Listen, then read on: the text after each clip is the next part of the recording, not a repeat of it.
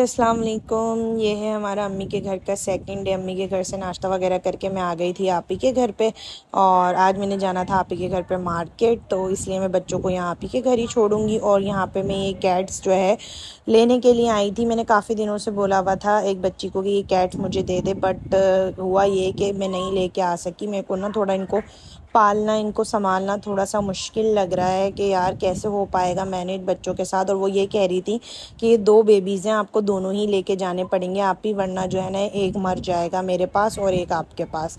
सो बस यहीं से व्लॉग का आज का आगाज़ करते हैं। ये देखें ये देखें इन लोग के काम। हम आए अपनी सिस्टर के घर पे। मैंने जाना है मार्केट और इन लोगों ने अपनी आप ही से ये बनवा, ये देख, काम देखने हैं इसके। और ये फातिमा खा रही है मैगी। आप लोगों ने आप ही को थैंक यू बोला? हाँ हादी तो बोल ही ना दे थैंक यू हादी ने नहीं बोला ना, फातिमा बोलती है थैंक यू सबको। कल भी नाना ने आइसक्रीम लाए थे तो इसी ने थैंक यू बोला था। हाँ। हम्म। ये देखो, और सबको मैगी की मैगी की रट लगवाई है इन लोगों ने। हालाँकि यहाँ के ना खाला के को तो तंग नहीं करते खाला के बच्चों को अब खाला की बच्चियाँ बड़ी हैं ना, उनको तंग करते हैं ये लोग। सो गाइस मैंने ले लिया है ये बिल्ली का बच्चा। अब हम पालेंगे बिल्ली के बच्चे को और इनको भेजेंगे हम बोर्डिंग हाउस इन लोगों ने बहुत तंग किया है। इसलिए अब हम इनको पालेंगे। कैसी है भाई हमारी मानो? ये दो है दो। एक एक। हमारी चिली होगी एक हमारी मिली होगी। ठीक है ये थोड़ी सी गंदी हो रही है इसको भी हम मिलाएँगे। है। ना? हमारी जान नहीं मुन्नी आई है। इसको अभी हम यहाँ पे क्लिप लगाएँगे, फिर यहाँ इसकी ऐसे पोनी बांधेंगे फातिमा की माला पिला दूँगी इसको। और चश्मा लगाते हैं इसका चश्मा। अरे ले, येलो चश्मा।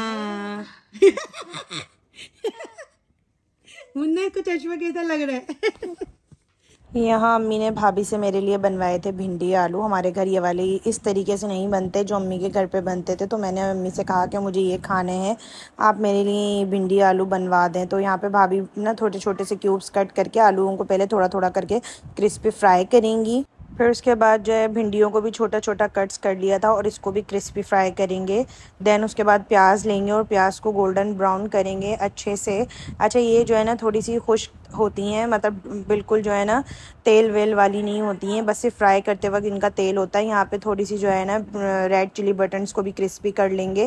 फिर उसके बाद ये देखें, जो प्याज हमने फ्राई की थी और भिंडी फ्राई की थी, उन सबको मिक्स करा, उसमें कुटी मिर्च और नमक डाला जस्ट और उसके बाद हम इसके अंदर ये जो है रेड चिली बटन जो है, इनको ऐड कर देंगे और बस इन सब चीज़ों को मिक्स कर देंगे। इसमें ऑयल वगैरह कुछ नहीं होता।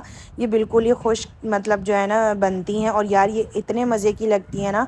मैंने अम्मी के घर पर डिनर नहीं किया था। अम्मी के घर पर मैंने लंच किया था और लंच में अम्मी ने बनाए थे पाए।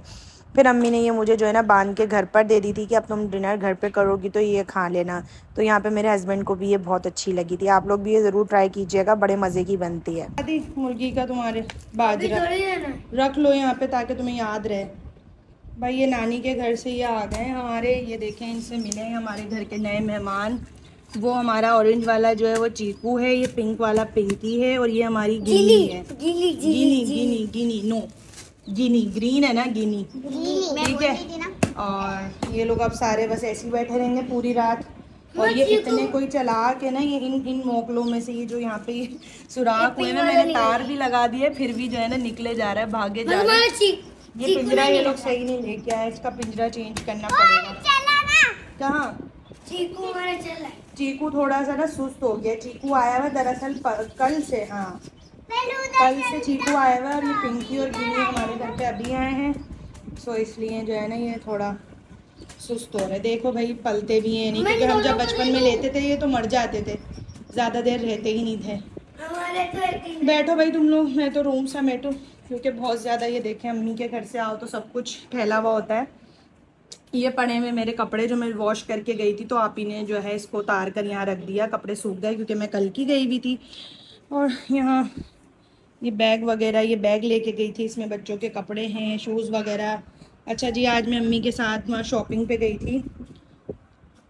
तो मैं फ़ातिमा के लिए ये शॉपिंग करके आई। अब जब बच्चे हो जाते हैं ना तो फिर बच्चों की शॉपिंग होती है, अपनी शॉपिंग नहीं होती। एक ये फ़्रॉक है, एक ये फ़्रॉक है। आजकल फ्लोरल फ्रॉक्स का बड़ा फ़ैशन है। तो मुझे ये दोनों बहुत प्यारी लग रही थी। तो भी मैंने फातिमा के लिए लिया। अभी मैं पहना के चेक करूँगी कि कैसी हैं इसको साइज़ वाइज और फुल स्लीव्स मैंने इसलिए लिए हैं कि आगे सर्दियाँ आ रही हैं ना सो इसके लिए ये ठीक रहेंगी। और एक ये थी, ये भी मुझे बहुत प्यारी लग रही थी। तो फिर जब पहनेगी ना फातिमा तो आप लोग ब्लॉग्स में देख ही लेंगे। और मैं क्या लाई थी अपने लिए बैग लेके आई थी। ये इन लोगों ने सब जो है ना, सबकी शॉपर्स वगैरह चेंज कर दिए घर पे, जब मम्मी क्या सबको दिखा रही थी। तो सबने ये, मैं अपने लिए लेके आई हूँ क्रॉस बॉडी मुझे इसकी नीड थी। वैसे मैं बैग्स वगैरह अपनी नहीं लेती, क्योंकि मेरे हस्बैंड अपनी पसंद से ही दिलाते हैं हमेशा से। लेकिन ये मैं इसलिए लेके आई कि मुझे इसकी ज़रूरत थी। कभी ऐसे ही जाना होता है ना तो मेरे पास क्रॉस बॉडी थी नहीं। इस वजह से। तो मैंने ये ले ली क्रॉस बॉडी कमेंट्स में बताइएगा कैसी लगी। ठीक है। ये ऐसे खुल जाती है और इसके अंदर ये ऐसे ऐसे भाई है। ठीक है, इसके साथ बड़ा स्ट्रिप भी है। मुझे अच्छा लग रहा था और मुझे ज़रूरत थी भाई इसकी ना क्योंकि वहीं बाहर थोड़ी देर के लिए जाना होता है तो मैं हैंड बैग पहले तो मुझे ना हैंड कैरी लेने का बहुत ज़्यादा शौक था, इस तरह के बैग्स। बस मुझे इतने ही अच्छे लगते थे। मैंने लॉन्ग स्ट्रेप्स के साथ कभी भी बैग नहीं लिए, लेकिन अब मुझे लगता है कि मुझे ज़रूरत है, क्योंकि मेरे दो दो मोबाइल मेरे पास होते हैं और बहुत सारी चीज़ें होती हैं। इसके साथ ये देखें छोटा सा पाउच है, इसमें तो चिल्लर ही आएँगे, मेरे पैसे तो आएँगे नहीं इसके अंदर। चलें जी, बस यही शॉपिंग की थी। अब ये सारा समेटे हम। फिर मिलेंगे आपसे नेक्स्ट व्लॉग में। तब तक के लिए मुझे दीजिए इजाज़त। अल्लाह हाफिज़।